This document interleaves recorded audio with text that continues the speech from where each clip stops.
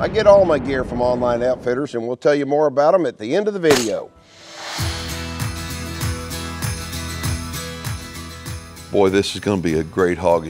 Perfect eating size hog and I'll tell you right now, Santa does not clean his own animals. So if you're gonna take Santa hunting, you've got to clean the animals for him, and I'm going to be doing so with a diamond blade knife that he gave me last Christmas.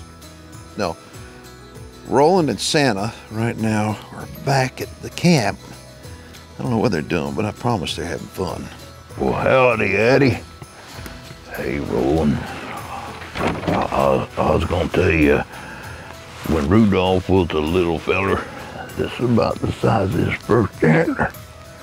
I mean, I was real happy. Eddie got me a cookie. Look what you got. Oh, a little bit. Oh, I'm not gonna oh, too much. That's not bad. You're my favorite girl. I love cookie.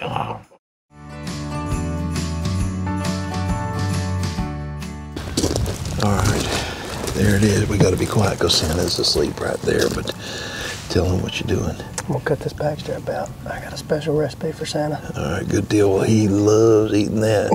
the only thing he likes eating more than that is cookies and milk. Look at him sleeping over there.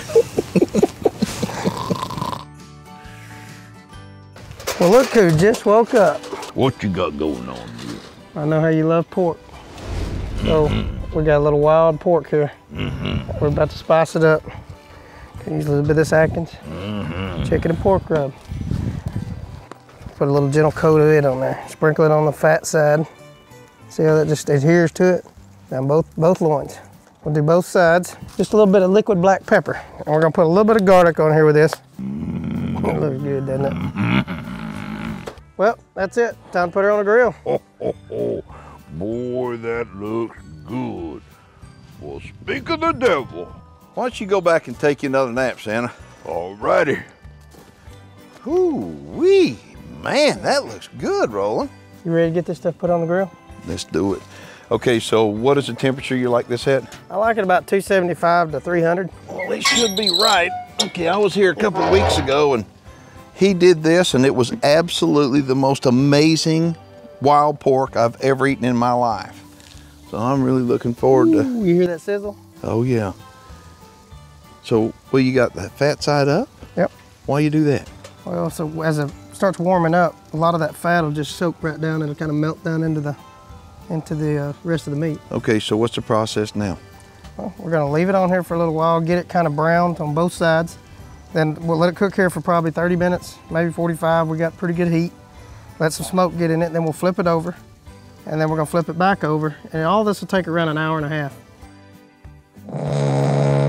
I love waking up from a nap and having a snack.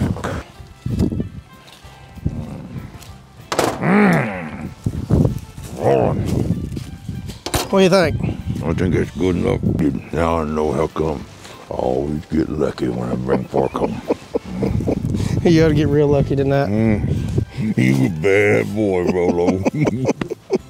You got that right. He is a bad boy. You should have called me to try some out. Is it good? Get in there and get you some. What do you think, Santa? Mm. you doing good there. Mm. Well, good. I'm glad you came. So Santa and I both wound up getting a bunch of hogs on the ground. We ate some fantastic pork and we just had a good time. I, I always have a good time when Santa's around. I said, you know what, Santa? I want to take you down to my place, the Texas Hidden Springs Ranch. Now, Santa's not done yet. So tomorrow, I'm taking Santa out on a doe hunt at my ranch. Y'all make sure and check it out. We'd like to thank Online Outfitters for providing us with all of our awesome gear that we use in our shows. From ammunition to thermal gear, if we need it, they have it.